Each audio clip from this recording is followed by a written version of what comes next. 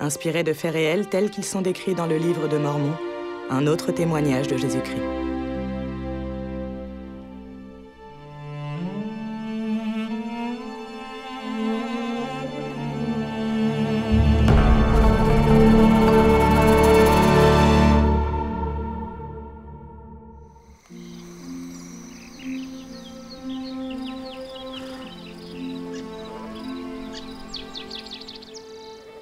Il faut nécessairement que le Christ, car la nuit dernière, l'ange m'a dit que ce serait là son nom, vienne parmi les Juifs. Mais ceux qui sont à Jérusalem roidiront le coup contre lui pour qu'il soit crucifié.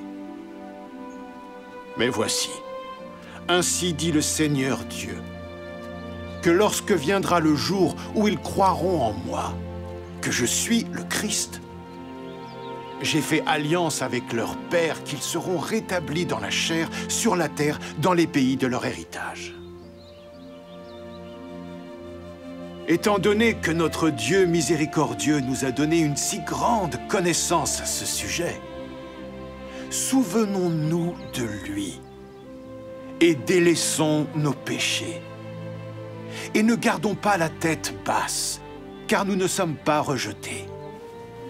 Néanmoins, nous avons été chassés du pays de notre héritage.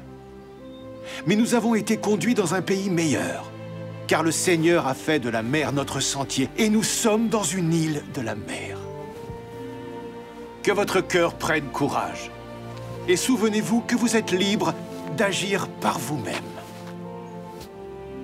de choisir le chemin de la mort éternelle, ou le chemin de la vie éternelle réconciliez-vous avec la volonté de Dieu, et non avec la volonté du diable et de la chair.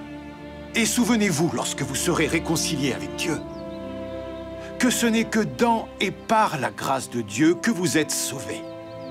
C'est pourquoi, puisse Dieu vous relever de la mort par le pouvoir de la résurrection, et aussi de la mort éternelle par le pouvoir de l'expiation, afin que vous soyez reçus dans le royaume éternel de Dieu, afin que vous le louiez par la grâce divine. Amen. Amen.